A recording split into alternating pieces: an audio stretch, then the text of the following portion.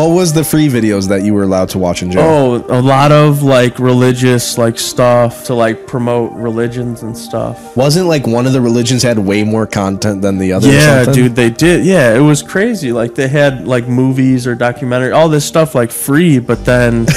other religions didn't have them at all and it's just like they're promoting their religions in jail run from like not an ipad but it's basically like a tablet like it's weird they had tablets i didn't even realize i never knew